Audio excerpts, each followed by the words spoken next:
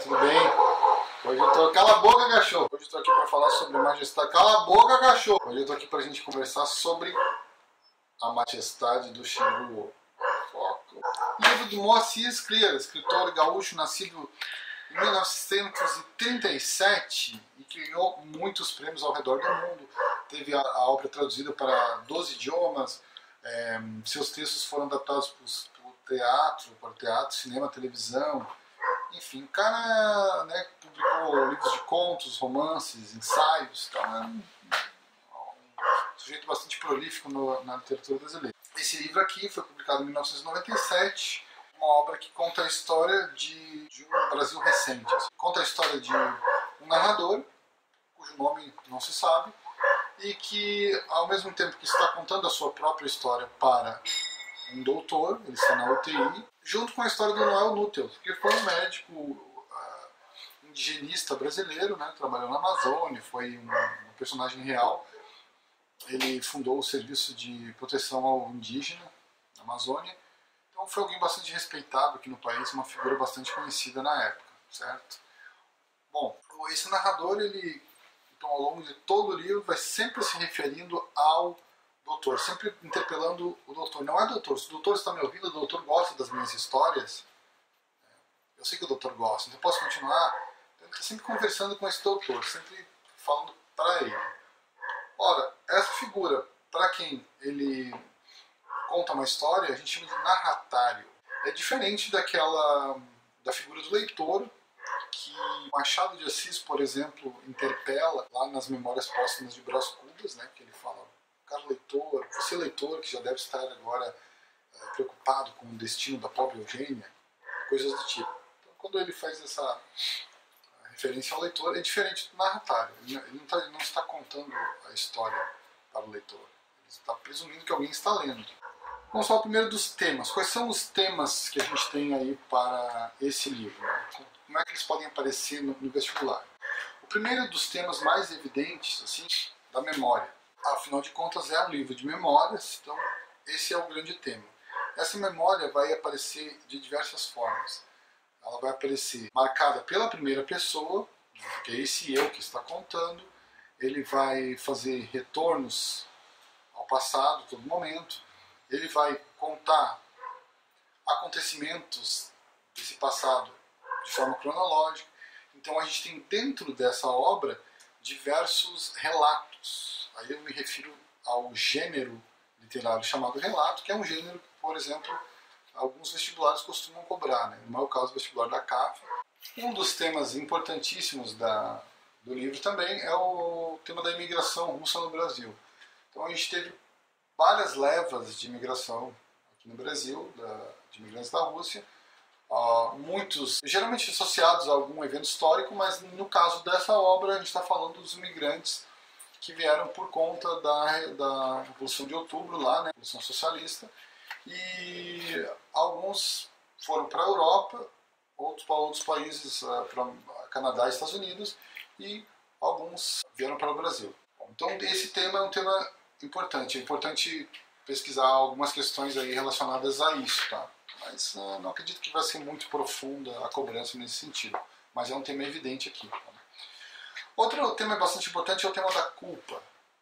O, o narrador, em vários momentos, se refere a isso, ou a culpa, ou a vergonha. Uma cena em que isso aparece de forma bastante uh, evidente é a cena em que ele menciona a fuga deles, né, de lá, da Rússia, e uma história que tem com a tia que está com sapatos de salto alto, e não faz muito sentido, né, fugir de sapato alto mas dentro do, do, daquele sapato ela guarda dinheiro, joias, e isso é uma coisa comum.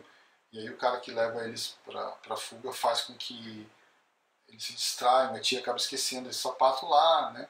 E, e segundo ele, ele faz isso para não roubar abertamente os, esses imigrantes, que afinal de contas eram seus compatriotas, eram judeus também, e, e não se sentir culpado. Então ele vai mencionar a ideia de culpa, culpa, culpa, essa culpa judaica, ele diz, que é também a culpa cristã, né, que também está aí no, no cerne da, da cultura é, cristã, do cristianismo, a ideia de culpa, de algo que deve ser espiado o tempo todo.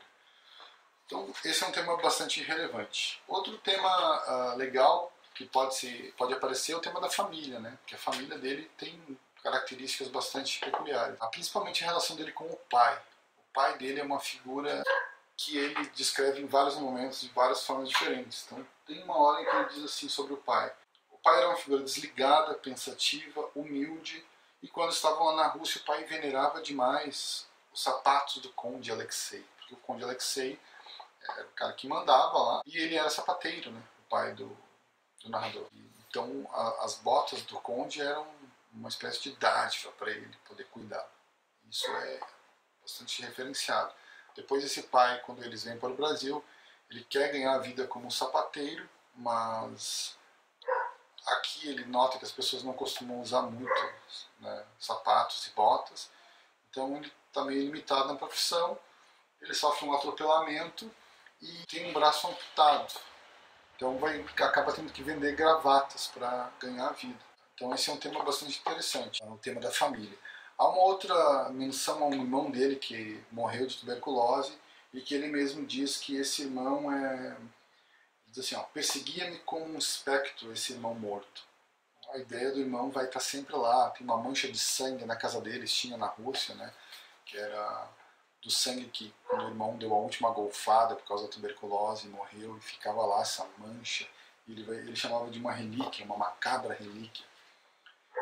A morte era uma lembrança constante em nossa existência. Então, pessoas que têm, estavam acostumados à morte. Outro tema importante, fora o tema da família e da migração judaica e da memória, é o tema da própria narração, né? o narrar, a habilidade de narrar. Esse narrador ele utiliza a linguagem com bastante maestria, mesmo sendo uma narrativa oral, né, mesmo sendo contando uma história oralmente para alguém, ele vai usar um vocabulário muito bom, assim, ele tem um vocabulário bom. Ele fala muito nas fabulações. E há um momento, já no começo do livro, assim, né, primeira metade do livro, na página 66 aqui, em que ele está dizendo para o doutor que o doutor precisa saber tudo a respeito do seu paciente, e ele diz assim: o senhor precisa saber tudo sobre ele, o paciente, inclusive as coisas que fabula. Então aqui ele está admitindo que nem tudo aquilo que ele diz é verdade, que nem tudo aquilo que ele diz deve ser acreditado como verdade. E aí lá pelas tantas ele diz de novo: a minha imaginação elaborava fabulações doentias. Então, admite sim que muitas das coisas que ele diz podem não ser verdadeiras. O delírio dele, no final do livro, bem no final, ele está contando de um sonho que ele teve, em que aparece um, o Cossaco. O Cossaco era o líder dos cossacos, né, que era um dos caras que promoviam o pogrom. Pogrom era uma espécie de chacina que os cossacos faziam, ainda quando era antes da revolução, né, antes do, do, comunista assumir, os cossacos promoviam esses massacres, né, matavam, estupravam, roubavam e, e essa figura do Cossaco perseguia o narrador. E ele diz que o Cossaco derruba ele no chão, pisa na bota, com a sua bota no peito, não sei o que, ele sente uma dor terrível no peito. E aí então ele acorda com a Josileia, ele não sabe o que ele tem, né? ele acorda gemendo, e aí ele vai para o hospital. E é assim que a história dele, a chegada dele ao hospital acontece. Então ele vai dizer assim: ó, Isso que eu lhe contei é tudo, é a minha história que só tem importância porque é um pouco, muito pouquinho a história de Noel Luttels, o médico dos médicos, que acaba com as seguintes frases. Posso lhe fazer uma pergunta, doutor? Posso? Essa dorzinha aqui no braço, o que será isso, doutor? Então a gente descobre que tudo isso que ele contou, toda essa história, está contando para o doutor ali, e ele só está ali no hospital, está na UTI, porque provavelmente ele sofreu algum ataque cardíaco, né? Dor no peito, acordou gemendo, foi para um hospital, na UTI, presume-se então que foi, foi isso. Então a gente não sabe também até que ponto isso é tudo era verdade, a relação dele com o Noel, se ela existiu mesmo, de fato, ou não, se foi pura fabulação da cabeça dele. Outra coisa bastante importante é por que o nome do livro, A Majestade do Xingu? Essa é a grande pergunta. Né? A gente pensa que pode ser uma referência ao próprio, ao próprio Noel, né? por ser o, o, rei dos indigenistas, mas não é isso. Né? Ele menciona aqui o que é essa majestade do Xingu. a Majestade do Xingu é uma loja. É uma loja que ele queria abrir né, lá no meio floresta amazônica e ele queria vender coisas para os índios. Por que isso? Porque ele achava que isso seria uma forma de continuar o trabalho do Noel. Ele achava que essa era a missão dele. Então lá no, o que, que ele faria nessa loja? O que, que ele venderia? Né, ele venderia de tudo. Ó. Uh, venderia tudo o que havia vendido antes e tudo que o asiático vendia agora. A tradição e a modernidade. Novelos de lã e mini calculadoras, cortes de fusão e rádios de pilha, carpins e gravadores. Venderia para colocar esses artigos ao alcance dos índios, naturalmente mas venderia sobretudo pelo prazer de vender, prazer que seria reforçado pela pureza da paisagem, pela inocência dos clientes. Então, a Majestade do Xingu seria o nome dessa hipotética loja que ele abriria e que serviria para estes fins aqui uh, narrados. Falando agora sobre a linguagem da obra. Tá? A linguagem é, como eu disse antes, por se tratar de uma narrativa oral, então ela tem marcas bem evidentes dessa oralidade. O narrador é uma pessoa culta, que tem um domínio da linguagem bastante evidente. Ele não usa eufemismos, ou seja, ele não poupa palavras para descrever algumas cenas. Sobretudo, sobretudo as cenas que envolvem sexo, que envolvem sexualidade, ou que envolvem um, acontecimentos escatológicos, coisas nojentas. Então, por exemplo, quando ele fala do, da sua obsessão por, eh, por seios.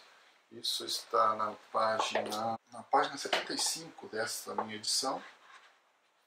Ele vai fazer uma narração bastante peculiar de uma da famosa poluição, não poluição, poluição noturna. Poluição noturna é essa ejaculação involuntária acontece muito na adolescência, né? Acorda com o lençolzinho ali todo borrado. Ele vai dizer assim, ele estava falando sobre o José de Anchieta. Ele diz, Anchieta não sei, mas eu naquela época, estava com 10 anos, só pensava em peitinhos. Os peitinhos das meninas do Bom Retiro, das meninas da escola. Nisso eu não fazia discriminação.